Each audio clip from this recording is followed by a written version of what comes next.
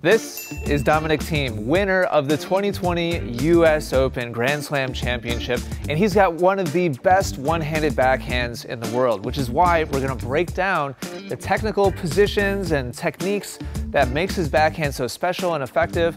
And I'm gonna show you what you should be copying, what you should not be copying, and also go to the court and show you how to practice to develop your own one-handed backhand to be more like his. So we're gonna start by talking about Dominic's grip, which I believe is a really important element as to why he's able to hit such a big one-handed backhand. I used to use a one-handed backhand grip that was more like a continental grip. My hand was spread across the handle. When you take a look at how he's holding his racket, I want you to look at the angle of his uh, knuckles and look at the angle of the handle and you'll see that they're in line. His knuckles are parallel to the handle of the racket as opposed to his knuckles being more spread across the handle, which is how many, many amateur players try to hit their one-handed backhand. The result, and what happened for me until very recently, was a very straight kind of lateral hit of the ball, not very much vertical lift, and therefore not a whole lot of leverage with the body, but also very little topspin. So I think this grip is really important. But also notice his knuckles aren't way up towards the top of the handle either. It's a relatively conservative one-handed backhand grip. He's not as far up as like a Wawrinka, but he's still able to really crush it and hit it strong and hit with lots of topspin. So grip is really important. The second thing we're gonna talk about is his coil. I want you to check out the baseline here and look at the angle of his hips relative to the baseline. He's just about 90 degrees to the baseline. Meanwhile, look at his chest. His chest is turned past his hips, and that's what we call a, a coil position. He's created some stretch in his midsection, and that helps him load energy that he can then unwind into the point of contact. We're actually going to go to a back angle to check that out because it really shows it clearly. But first, please give this video a thumbs up for Love Tennis who I got this slow motion clip from. Super helpful. I really appreciate all their footage very much.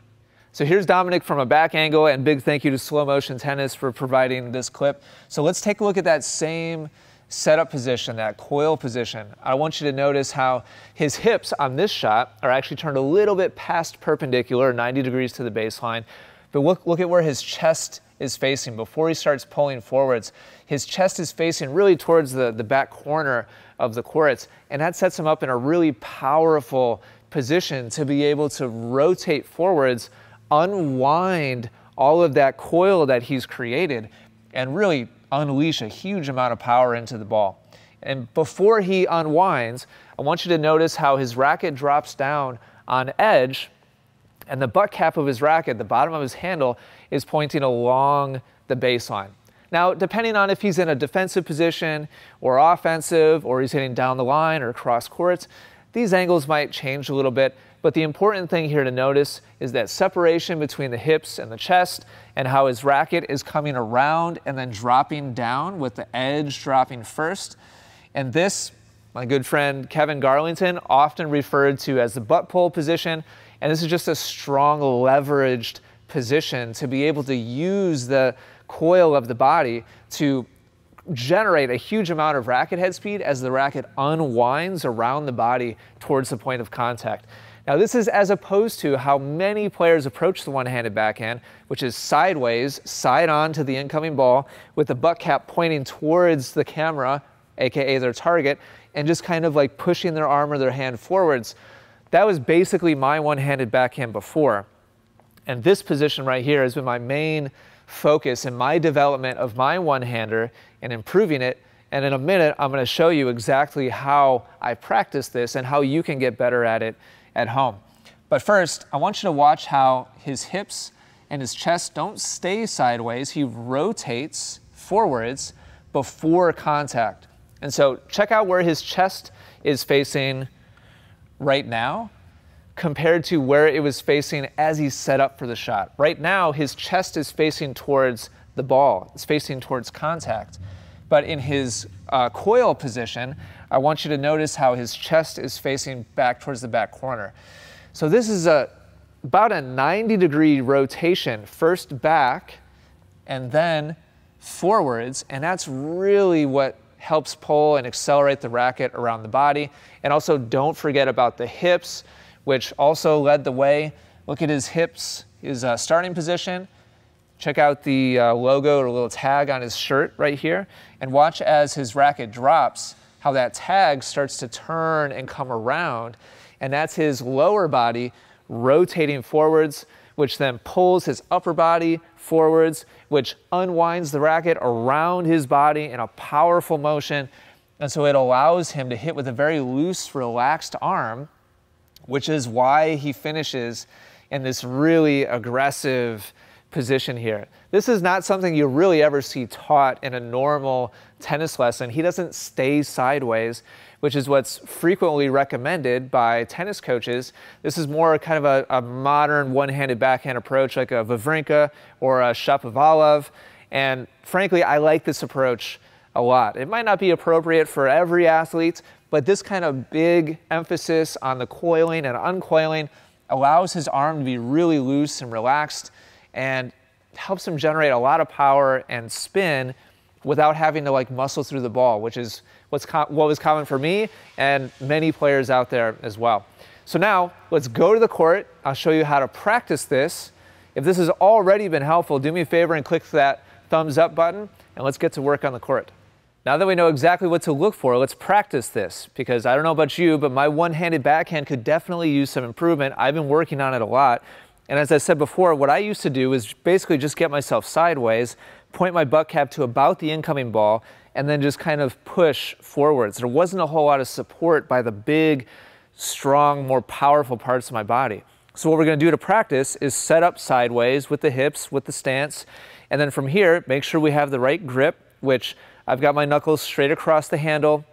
I'm not going all the way up to the top of the handle. You can if you want, but it's not necessary to go that high. I'm gonna go kind of halfway between bevel one and, and bevel two on the grip.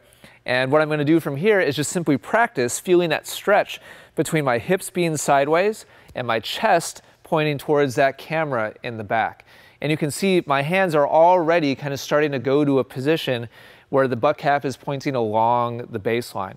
And so what I'm going to do is practice turning my stance to the side, then coiling my shoulders past my hips, and then drop my hands and move through the rest of the motion. So I'm just gonna slowly move through a couple of those shadows. I'm gonna track the racket and make sure that I do everything as close to as perfectly as I think I, I possibly can in this environment. And then after a couple, I'm actually gonna check myself. And I strongly, strongly recommend that you do this. I have an iPad set up here. Let's go ahead and see how I'm doing. You can do this with your phone. Any smartphone will do. You can just use the camera app on your device is totally fine. And this is a perfect way to figure out if how you think you're moving is actually matching up in reality. So let's look at that last swing that I just did and compare it to what Dominic looks like. So my hips are 90 degrees to the baseline. You can see my shoulders have actually turned past where I want them to. I've exaggerated a little bit. So my chest is almost kind of facing towards the, the back curtain instead of the side corner. If you find yourself exaggerating a bit in shadow swings, a lot of times I kind of encourage my students to do that. It can be a good thing because when the ball comes firing from the other side, you tend to kind of meet halfway in the middle from your old swing and like the perfect swing that you're trying to emulate. So I'm not super concerned about being turned too far here, but you can see that my butt cap is pointing along the baseline. My racket has coiled a little further than what I actually needed to. And you can also see that my chest is not turning enough to face contact. So that's something that when I go back, I need to work on that. I'm not rotating forwards enough like what Dominic was doing. So after I kind of give myself a couple reminders and I practice my shadow swings and really get them pretty ideal, what you're gonna wanna do is transition to hitting a couple balls just from a, a drop to yourself. Don't go out and be like, oh, sweet, I got it, and just start hitting or playing a match. You're gonna find that that's gonna overwhelm you and you're just gonna go back to your old habit. So instead, set up on the baseline, do a couple of smooth, slow shadow swings, and here I'm gonna focus on maybe not turning quite so far with my chest and making sure I turn forwards to contact better. Do a better job of that. And now what I'm gonna do after two shadow swings is I'm just gonna toss a ball up and move through that motion. So let's do one more of those. And let's see how I did. And so I was recording again on the iPad and we'll check out how my positions are looking. And so this is progression two. This is gonna be a little bit more challenge than the shadow swing. And so this is looking better with my chest. I'm not exaggerated anymore. And my racket's dropping a little bit more kind of true to life, like a little more realistic what I'd actually want it to be. I'm not over coiling anymore, which is great. This time I turn my chest forwards a little bit better towards contact, but I still need to do a better job of that. So when I go back again, I'll again kind of focus on that part of it. Everything else is looking good though. So now we're gonna use the ball machine, or you can use a partner or a coach to feed to you. And that's gonna be our final step here, is actually trying to emulate the new and improved technique with the ball actually coming from the other side. So now we're gonna practice with the ball actually coming from the other side. I highly recommend that you start off smoothly, slowly shadowing through just a couple, just to kind of remind yourself the movements that you want to make your way through. And then go ahead and have a coach or a ball machine feed and do your best attempt to hit those same positions that we just worked on relative to uh, Dominic's backhand. And so let's, uh, let's see how I'm doing here. We'll double check with video as always please don't go based on feel and just assume that, oh yeah, that was a good one, I definitely did it right. You'll be surprised when you check yourself on video, oftentimes the best ones are, they just feel good because you're kind of going back towards your old habit.